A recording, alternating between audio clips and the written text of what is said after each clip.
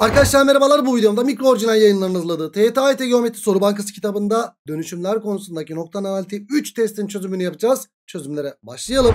Analitik düzlemde 2'ye 4 noktasının x eşittir 3 doğrusuna göre simetriği B. B'yi hemen bulalım. X eşittir 3'e göre simetriği bunun iki katından apsisini çıkartıyorduk. Yani 2 çarpı 3 eksi 2'ye ordinat da aynı kalacak. Yani 6 eksi 2 4'e 4 noktası yapıyor. 4'e 4 noktası yapar. Y eşittir 7'ye göre simetriğinde de bunun iki katından y'sini çıkartacağız. Apsisi de aynı kalacak. 2'ye şunun iki katı kaç? 2 çarpı 7 eksi 4 diyeceğiz. Yani 2'ye 10 noktası mı yapıyor burası da? Evet bizden bu noktalar isteniyor. Bulduk mu bulduk. Geldik örnek 2'ye.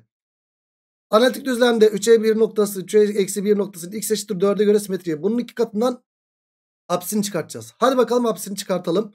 Bunun iki katı 8 eksi 3 5'e eksi 1 noktası yapar. 5'e eksi 1 de neymiş? Bunun üstündeymiş. Koy yerine o zaman. X yerine 5. Y yerine eksi 1 koyduğum zaman ne geliyor? K'yı da buradan 4 buluruz? Evet. K buradan 4 çıkar. Örnek 2'de. Geldik bir örnek 3'e.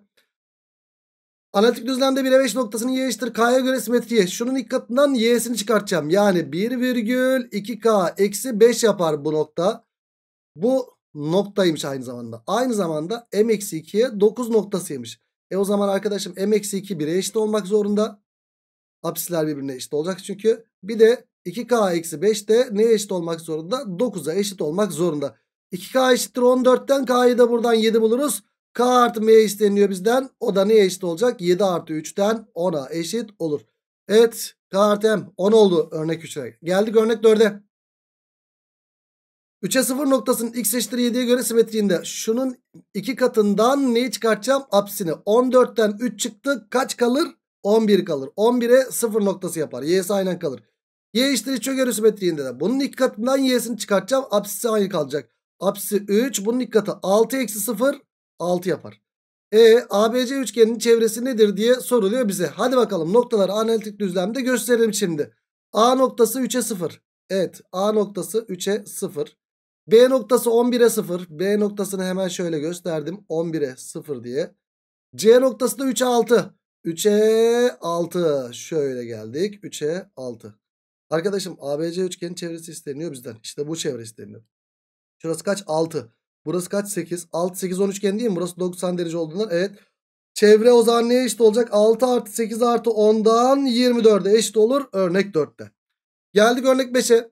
Analitik düzlemde bir A noktasının x eşittir 5 doğrusuna göre simetriye B'dir. He, A virgül B noktasının x eşittir 5'e göre simetriği ne olacak? Şunun ilk katından A'sını çıkartacağım değil mi? Evet 10 eksi A'ya B yapar. İşte AB uzunluğu da neymiş? Burası B noktası burası da A noktası. AB uzunluğu 6 olduğuna göre o da nedir? X'ler farkının karesi yani 10 eksi A eksi A'nın karesi artı Y'ler farkının karesi B eksi B'nin karesi eşittir. Ne olmak zorunda? 6'ya eşit olmak zorunda. Her iki tarafın karesini alalım. O zaman burada 10 eksi 2a'nın karesi şu b eksi b 0 yaptı. Eşittir 36 yapar. Evet 10 eksi 2a buradan ya 6 yapar. 10 eksi 2a buradan ya da eksi 6 yapar. Çünkü eksi 6'nın karesi de 36 ya. Buradan 4 eşittir 2a'dan a'yı 2 bulurum. Buradan da 16 eşittir 2a'dan a'yı da 8 bulurum. Değerler çarpımı isteniyor benden. 8 ile 2'nin çarpımı isteniyor. O da 16 yapar. Örnek 5'e 16 bulduk. Geldik örnek 6'ya.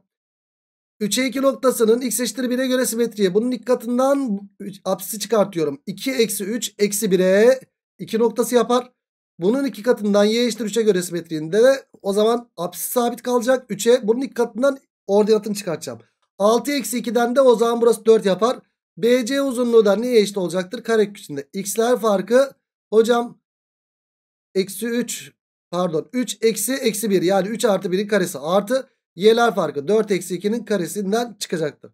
Bu da 16 artı 4 20 yapar. Kök 20 de neye eşittir? 4 çarpı 5'e 4 dışarıya 2 diye çıkar. Cevap 2 kök 5 gelir mi? Gelir. Örnek 6'yı da böylelikle 2 kök 5 buluruz ve bu testi bitirmiş bulunuyoruz. O zaman ne diyoruz? Bir sonraki testin çözümünde noktanın simetriği 4 testinde görüşmek dileğiyle kendine iyi bak. Hoşçakal.